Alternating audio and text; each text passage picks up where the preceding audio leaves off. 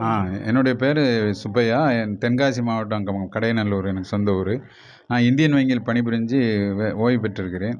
என்னுடைய மனைவி எஸ் மாலையம்மாள் வந்து நகராட்சி முன்னாள் வார்டு கவுன்சிலர். என்னுடைய பையன் ராஜலிங்கம் வந்து எல்கேஜிலேருந்து டுவெல்த்து வரைக்கும் புளியங்குடி செவன்த் டே அட்வென்டிஸ்ட் ஸ்கூலில் படித்தான் அதுக்கப்புறம் வந்து திருச்சியில் ஆர்இசின்னு சொல்லக்கூடிய மண்டல பொறியியல் கல்லூரியில் படிச்சுட்டு அதுக்கப்புறம் பல வேலை வாய்ப்புகள் கிடைச்ச போதிலும் மக்களுக்கு சேவை செய்யணுங்கிற ஒரு நோக்கத்தோட யூபிஎஸ்சி எழுதி முதல்ல ஐபிஎஸ் ரெண்டாயிரத்தி ஆறில் கிடச்சி. அந்த வேலையை பார்த்துக்கிட்டே திரும்ப ஐஏஎஸ் எழுதி உத்தரப்பிரதேசில் போஸ்டிங் கிடச்சி.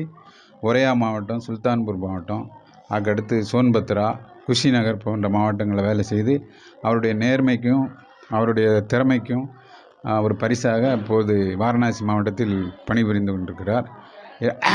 மற்ற நம்ம மாண்புமிகு மோடி அவர்களுடைய தொகுதியில் இருப்பது எங்களுக்கு ஒரு பெருமை நம்ம கடையநல்லூருக்கும் பெருமை எங்களுக்கும் பெருமை.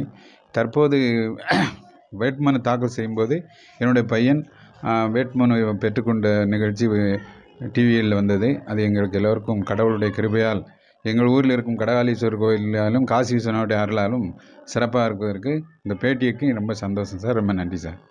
எப்படி ஃபீல் பண்ணுறீங்க உங்கள் பையன் இன்னைக்கு வந்து காண்ட்ரா எப்படி பார்க்குறாங்க நான் அவனுடைய அவன் சின்ன வயசுலேருந்தே கொஞ்சம் ஆனஸ்ட்டாகவும் கொஞ்சம் டிசிப்ளினாக இருப்பான். சார் குறிப்பிட்ட நேரத்தில் குறிப்பிட்ட வேலை செய்யணும்னு நினைக்கக்கூடியவன். என் கொஞ்சம் இறக்க சுபமாக ஆமாம் அதனால கொஞ்சம் இறக்க குணம் உள்ளவன். யார் மனசையும் புண்படுத்தக்கூடாதுன்னு நினைக்கக்கூடியவன். அதாவது பல வேலை உளவுத்துறையில் வேலை வந்தது சார். அப்புறம் பிஎஃப் கமிஷன் ஆஃபீஸில் வேலை வந்துச்சு.